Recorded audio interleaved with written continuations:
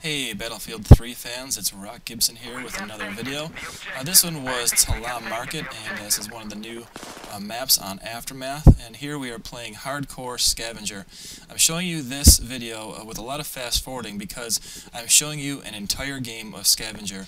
And if you noticed at the start of this uh, video, the score was 150 to 150, but our team started to just absolutely roll, control points, work together.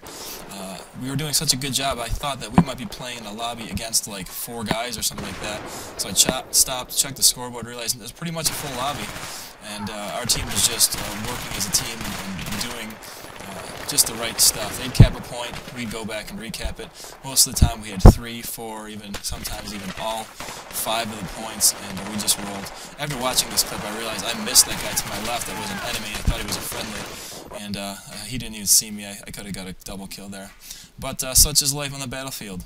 So, anyways, we're uh, rolling um, and uh, doing a, a, lot of teamwork. I, I, fast forwarded through a bit of this because uh, for a time I was going just, I'd get a kill, I'd die, I'd get a kill, I'd get a, I'd die. So uh, nothing exciting, uh, but that's okay because the other team was carrying carrying me when I was uh, not doing so well.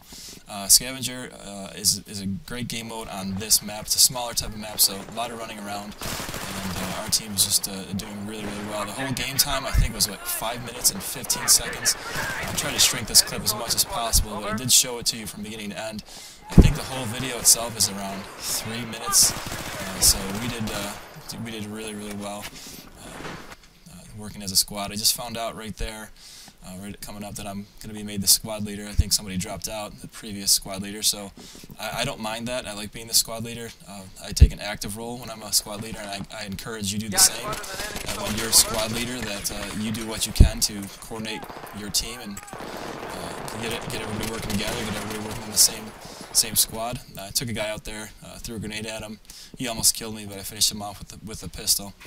Um, so yeah, I'm issuing commands, issuing orders, and our squad is uh, doing just a great job. Uh, the cool thing was this was like our first victory, and uh, we stayed together. Pretty much the team stayed together for around the next 12 to 15 matches, and uh, we went on a, just a crazy rampage. We won every single one. Some games we were, we were behind, but we'd come back, and uh, really it was all about teamwork. And uh, that's why I don't mind being a, a squad leader. Someone's got to coordinate the troops, someone's got to issue commands. Uh, also gives you a, a, few more bonus points when you follow commands and get a kill or cap a point that you've issued an order on. Um, so yeah, so this game is, is winding down. We're really pretty much in control. I took a couple shots at that guy. I didn't want to hit my. I had a couple friendlies I didn't want to hit. Uh, so that was the game in its entirety, and we dominated. I think my I think I was 13 and 4 another day at the office. See ya.